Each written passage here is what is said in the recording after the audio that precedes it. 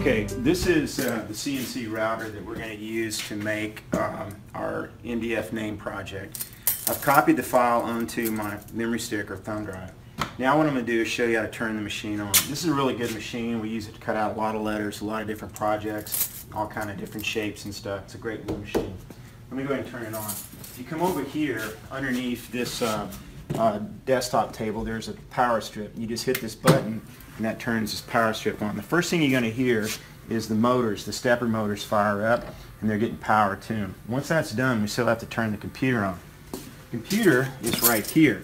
Always turn the computer on first prior to or before you stick your memory uh, thumb drive or memory stick in. So if we look over here on the screen, we see the uh, machine powering up. It's going through its boot sequence, and that's good. So now that it seems like it's found the Windows uh, boot file, I'm going to go ahead and plug in my thumb drive or memory stick. Okay. Uh, go ahead now, and I'll put it in the computer right here and install that. And the computer will come up. While it's doing that, let's give it a little quick overview of the system. Uh, one thing that's important to note is that we have a spoil board attached to it.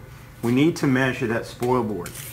Uh, the spoil board in this case is 43 and a half inches by uh, 19 and a quarter. Now, the spoil board is where we actually cut through the MDF. As you can see here, it's cut through before, and that's okay. Let's kind of walk around the machine. I always keep a trash can here so I can throw away any scrap wood. Uh, and if you come down here, I've got it all set up. And this is a, actually it's a pretty good machine. It's two feet by four feet in distance. It's been a real workhorse for us. Uh, it's chain drive, which gives us barely any deflection on the part as we mill it out. Uh, it's using a Porter Cable 690 router. These work fine. Actually, this is the third router I've put on. This is how much production the machine has been in. Let's see if the file is, uh, the machine is already up. Yeah, it's up. And it's also found the memory stick here, or the thumb drive. I'll double click on that, and I'll open that up.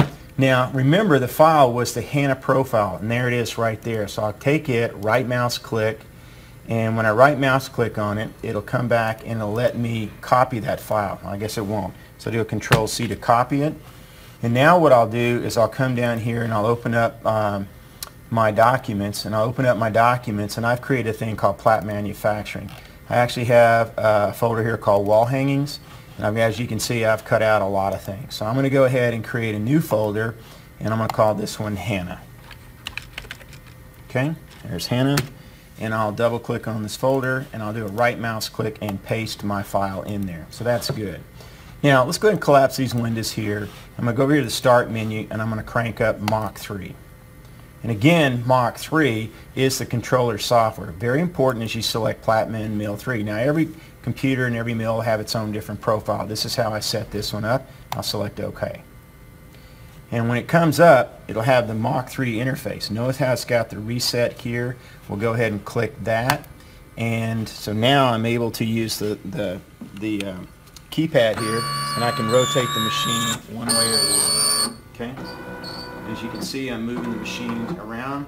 Hold my shift key down, and I can move it faster and more rapid. So what I'm going to do is basically go back towards kind of the center because I'm going to need to cut my MDF to put on here. Now, let's look and load up our G-code file. I'll come over here to the button, either load G-code here, or I can hit the pull down and I can say load G-code. We'll select it off the Mach 3 screen. We'll come over here and we'll find our documents. We'll find Platt Manufacturing. We'll find wall hangings. And we'll find the word uh, folder HANA. And there's our file. And we'll open it. And so it opened up that text file that we created in Aspire. And as you see, it's got all the G-code here in the file. Goodness gracious, I would not have wanted to key all that in. So right now it says 24 inches by 10 inches by 8 inch. Okay, so we need to go cut us a piece of wood or cut a piece of MDF that size. Okay, we'll stop here for now.